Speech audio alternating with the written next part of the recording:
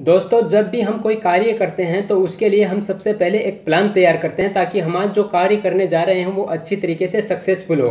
उसके लिए जैसे कि इंजीनियरिंग का कार्य हो, जैसे कोई बिल्डिंग बनाना हो या किसी बिल्डिंग का इलेक्ट्रिकल फिटिंग करना हो या उसका इंटीरियर डिज़ाइन करना हो या फिर कोई इलेक्ट्रॉनिक्स का इक्विपमेंट डिज़ाइन करना हो या कोई मशीन डिज़ाइन करना हो या फिर कोई भी टूल डिज़ाइन करना हो तो उसको सक्सेसफुल बनाने के लिए उसका एक प्लानिंग करना पड़ता है ताकि वो प्लानिंग अगर सक्सेसफुल है तो हमारा टूल जो फाइनल प्रोडक्ट बनेगा वो भी सक्सेस होगा।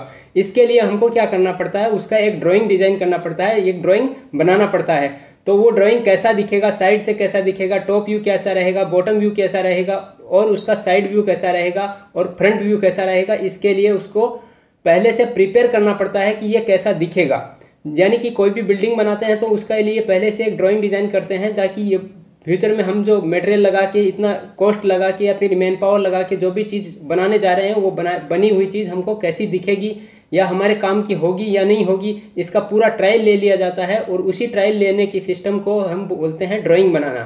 ठीक है? तो ड्राइंग जो होती है, वो अलग अलग इंजीनियरिंग के के फ़ील्ड के हिसाब से अलग अलग इंजीनियर्स अपने अपने फ़ील्ड के हिसाब से ड्राइंग डिज़ाइन करते हैं। जैसे कि इसके लिए मैं नॉर्मली कई फील्ड्स हैं, जैसे कि मैकेनिकल इंजीनियरिंग ड्राइंग होता है इलेक्ट्रिकल इंजीनियरिंग ड्राइंग होता है इलेक्ट्रॉनिक्स इंजीनियरिंग ड्राइंग होता है और सिविल वाला जो है वो सिविल का ड्राइंग बना के देता है। इसके अलावा भी जैसे इंटीरियर का अलग ड्राइंग होता है या फिर हमारा गार्डनिंग का अलग ड्राइंग होता है। तो इस तरीके से जो जो कार्य जो व्यक्ति करता है वो अपने फ़ील्ड का एक ड्राइंग हमको बना के देता है। तो हम जो ड्राइंग बनाते हैं, जो भी फ़ील्ड का इंजीनियर ड्राइंग बनाएगा, जैसे मैकेनिकल इंजीनियरिंग का आदमी है वो मैकेनिकल का ड्राइंग बनाएगा, इलेक्ट्रिकल इंजीनियर जो है वो इलेक्ट्रिकल का ड्राइंग बनाएगा, इलेक्ट्रॉनिक्स इंजीनियर जो है वो इलेक्ट्रॉनिक्स का ड्राइंग बनाएगा और जो सिविल इंजीनियर है वो सिविल का ड्राइंग बना के देगा और जो प्लम्बिंग इंजीनियर है वो प्लम्बिंग का ड्राइंग बना के देगा। तो इस तरीके से जो भी ड्राइंग बनाएगा, उसको कुछ टूल लगेंगे। ड्राइंग बनाने के लिए कुछ टूल्स का वो उपयोग करेगा। तो कौन कौन से टूल्स हैं जो कॉमनली सभी इंजीनियर्स जो है वो यूज़ करते हैं, उन्हीं टूल्स के बारे में हम आज जानेंगे। ठीक है? तो इंजीनियरिंग बनाने के लिए जो आवश्यक टूल्स हैं, उनके बारे में इस वीडियो के अंदर बात करेंगे। नमस्कार, मेरा नाम है महेंद्र कुमार सैनी और आप देख रहे हैं एम टेक गाइड दोस्तों इंजीनियरिंग ड्राइंग बनाने के लिए जो इंस्ट्रूमेंट यूज़ किए जाते हैं, उसके लिए जो बहुत सारे टूल्स हैं, जैसे कि ड्राइंग बोर्ड है। जिस बोर्ड के ऊपर ड्राइंग बनाया जाता है, उसके बाद में उसके लिए जो बनाने के लिए जो हमको ड्राइंग शीट्स की ज़रूरत पड़ती है और कुछ टूल्स की ज़रूरत पड़ती है तो वो टूल्स जैसे सेट स्क्वायर है टी स्क्वायर है प्रोटेक्टर है, फ्रेंच कर्व है, स्केल है, ड्राफ्टिंग टेम्पलेट है और मिनी ड्राफ्टर है और उसके बाद में ड्राफ्टिंग इंस्ट्रूमेंट्स बॉक्स होते हैं। इनका हमको उपयोग करना पड़ता है ड्राइंग बनाने के लिए। इनके बिना ड्राइंग बनाना संभव नहीं है, ठीक है? तो इनके बारे में हम जानेंगे। तो जैसे ड्राइंग बोर्ड्स होता है, वो इस तरीके का दिखता है। यानी इसके ऊपर हम सीट रखेंगे और हमारे जो टूल्स हैं, उनका उपयोग करके एक ड्राइंग बनाएँगे, एक प्लानिंग करेंगे कि हम को कैसा प्रोडक्ट बनाना है। ठीक है? तो ये जो ड्राइंग बोर्ड्स होते हैं, वो चार साइज़ के आते हैं। चार साइज़ के आते हैं। इनको D zero D one D two D three के नाम से जाना जाता है और जैसे जैसे डी के साथ जो नंबर है, वो बढ़ता जाएगा वैसे वैसे ड्राइंग बोर्ड का जो साइज़ होता है, वो छोटा होता जाता है। ठीक है? तो ये चार प्रकार के आते हैं। उसके बाद में देखो टी स्क्वायर होता है। टी स्क्वायर जो होता है, इसको उपयोग ड्राइंग के अंदर हॉरिजेंटल एंड वर्टिकल लाइंस खींचने के लिए उपयोग में लाया जाता है। इसके दो पार्ट होते हैं, एक को ब्लेड बोलते हैं, ये जो पार्ट होता है इसको ब्लेड बोलते हैं और ये जो पार्ट होता है इसको स्टॉक बोलते हैं। ठीक है? उसके बाद में देखो सेट स्क्वायर होते हैं। सेट स्क्वायर भी दो टाइप के आते हैं। सेट स्क्वायर दो टाइप के आते हैं, जिसमें एक टाइप होता है, जिसके अंदर एक 45 डिग्री एक थर्ट ये ये 60 डिग्री ये 30 डिग्री और ये 90 डिग्री का एंगल होता है, ठीक है? और एक दूसरा टाइप होता है जिसके अंदर एक 90 डिग्री एंगल होता है और दो जो कोण होते हैं वो 45 डिग्री 45 डिग्री के होते हैं, ठीक है? इस तरीके के दो सेट स्क्वायर बाज़ार में मिलते हैं। इनकी सहायता से हम जो है ड्राइंग टूल्स के अंदर लाइंस खींचने के लिए या फिर यूज़ किया जाता है, ठीक है? उसके बाद में देखो, प्रोटेक्टर होता है। प्रोटेक्टर को हम हिंदी में चांदा बोलते हैं। चांदे का उपयोग जो है लाइंस को एंगल पर ड्रॉ करने के लिए यूज़ किया जाता है। यानी कि अलग अलग एंगल के ऊपर अगर हमको लाइन को ड्रॉ करना है तो उसके लिए हम जो है प्रोटेक्टर का उपयोग करते हैं। उसके बाद में फ्रेंच कर्व होते हैं, कुछ स्पेशल शेप्स होते हैं, जिनको किसी नॉर्मल टूल्स के द्वारा जो है बनाया नहीं जा सकता। उन टूल्स को बनाने के लिए जो है फ्रेंच कर्व का उपयोग किया जाता है, जिन पे कर्व्स बनाने के लिए, कर्व बनाने के लिए जो है इस टूल का उपयोग किया जाता है। इसके बाद में स्केल होता है, स्केल सभी जानते हैं। ये दो टाइप के आते हैं, एक स्टील का स्केल आता है और एक प्लास्टिक का पीवीसी का स्केल आता है। साइज़ इसकी एक छः इंच का आता है और एक बारह इंच का आता है। ठीक है? इधर इसमें एक साइड में इंच में दिखाता है और एक साइड में सेंटीमीटर में दिखाता है। ठीक है? ये साइड सेंटीमीटर का है। तो जो छः इंच का स्केल होता है, वो पंद्रह सेंटीमीटर का आता है और ये जो है थर्टी वन सेंटीमीटर का आता है। ठीक है?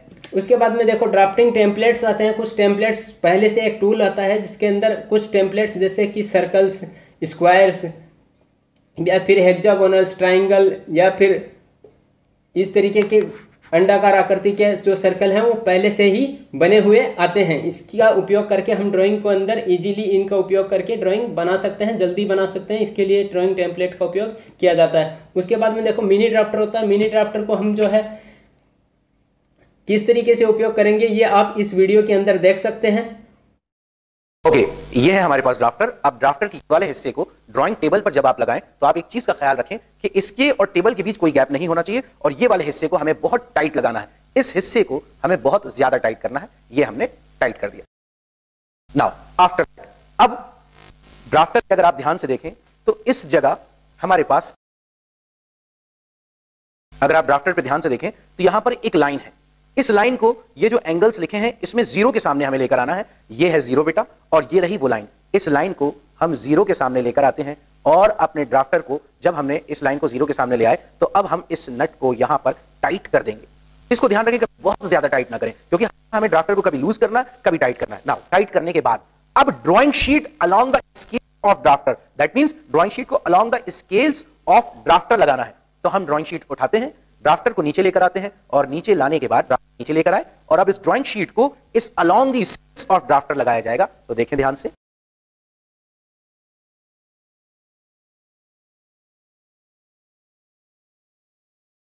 जी, अगर आप ध्यान से देखें तो स्केल के अलॉन्ग मैंने अपनी ड्राइंग शीट को लगा दिया। नाउ आफ्टर दैट अब एक हाथ कस के यूँ रखें ड्राफ्टर को साइड में करें ड्राइंग शीट ना हिलाएँ और क्लिप्स उठाएँ और क्लिपिंग कर दें।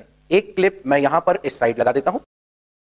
Clips according to the need लगाई जाती हैं, जैसी आपकी ज़रूरत, जैसी आपकी आवश्यकता। दूसरी क्लिप मैं यहाँ पर इस साइड लगा देता हूँ। ध्यान रहे ड्राइंग शीट ना हिले। और मैंने दूसरी क्लिप यहाँ लगा दी। आप चाहें तो एक क्लिप इधर भी लगा सकते हैं। अब अगर आप ध्यान से देखें तो आपका ड्राफ्टर अलोंग द शीट आपकी sheet along the scales of drafter लग चुका है। आप चाहें तो इसको चेक भी कर सकते हैं आगे जाकर। यहाँ देख सकते हैं। तो फ्रेंड्स हमने अभी अभी सीखा कि drawing sheet along the scales of drafter कैसे लगाई जाएगी। जब भी आप ड्राइंग बनाए, इसी तरीके को इस्तेमाल इस वीडियो के अंदर आपने देखा कि किस तरीके से ड्राफ्टिंग टूल का उपयोग किया जाता है और किस तरीके से इसको ड्राइंग बोर्ड के ऊपर कसा जाता है। ठीक है?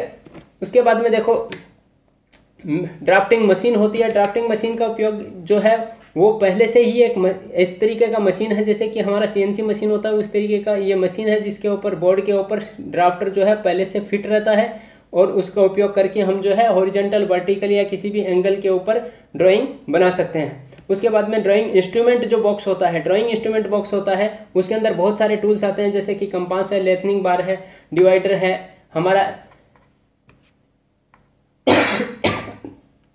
इंकिंग पेन है, या फिर बो इंस्ट्रूमेंट है, या drop spring bow pencil and pen है। तो ये टूल्स आते हैं हमारे ड्राइंग इंस्ट्रूमेंट बॉक्स के अंदर, ठीक है? तो देखो कंपास जो होते हैं, वो दो टाइप के होते हैं। एक लार्ज कंपास होता है, एक स्मॉल कंपास होता है। कंपास का उपयोग जो है, हम सर्कल बनाने के लिए या फिर डिवाइडर के तौर पर उपयोग में लेते हैं। या फिर चाप काटने के लिए इसका उपयोग किया जाता है। ठीक है लेंथनिंग बार होता है। लेंथनिंग करने के लिए यूज़ किया जाता है। डिवाइडर होता है, जैसे कि के अंदर आपको दिखाया गया है कि एक लाइन को डिवाइड करने के लिए जो है डिवाइडर का उपयोग किया जाता है। जैसे किसी लाइन को दो भाग में डिवाइड करना है, तीन भाग में डिवाइड करना है या पाँच भाग में डिवाइड करना है तो इस तरीके से हम जो है डिवाइडर का उपयोग करके उसका डिवाइड कर सकते हैं। ठीक है, बाद में इंकिंग पेन होता है। इंकिंग पेन ऐसा ही पेन है जिसके अंदर इंक जो है लिक्विड में डलता है और उसके बाद में हम इसका उपयोग जो है ड्राइंग बनाने के लिए उपयोग करते हैं। बो इंस्ट्रूमेंट होते हैं। बो इंस्ट्रूमेंट्स का उपयोग जैसे कि सर्कल बनाने के लिए या फिर डिवाइडिंग करने के लिए या फिर स्क्रैच करने के लिए उपयोग में लेते हैं। ठीक है ड्रॉप स्प्रिंग बो पेंसिल या पेन जो होते हैं, वो छोटे छोटे सर्कल्स बनाने के लिए, बहुत छोटे सर्कल बनाने होते हैं, उस टाइम पे हम इसका उपयोग करते हैं। ठीक? तो देखा कि आपने कौन कौन से टूल्स जो हैं, वो इंजीनियरिंग ड्राइंग बनाने के लिए जो इंजीनियर यूज़ करते हैं, वो मैन्युअली जो ड्राइंग बनाई जाती है, हाथ से जो ड्राइंग बनाई जाती है, उसके अंदर ये टूल्स का उपयोग करके ड्राइंग बनाता है और एक प्लान तैयार करता है, जिससे कि जो प्लान है, वो सक्सेसफुल हो सके। उसका प्रीव्यू देखा जा सके कि कैसा दिखेगा। तो उम्मीद करता हूँ कि ये जो टूल्स हैं आप अच्छे तरीके से समझ गए होंगे और अधिक जानकारी के लिए आप हमारे चैनल को सब्सक्राइब कर लीजिए। धन्यवाद।